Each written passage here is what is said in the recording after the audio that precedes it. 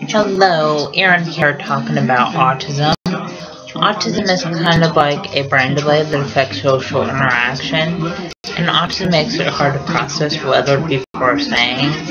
Also, autism makes it hard to process other people hugging and kissing, and autism makes it hard to process other people holding hands.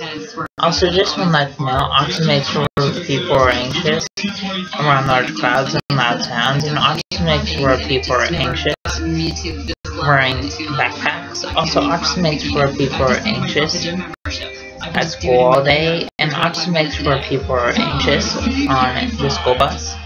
Also, autism makes where people are anxious when the fire alarm goes off at school, and autism makes where people are anxious when eating lunch at the school cafeteria.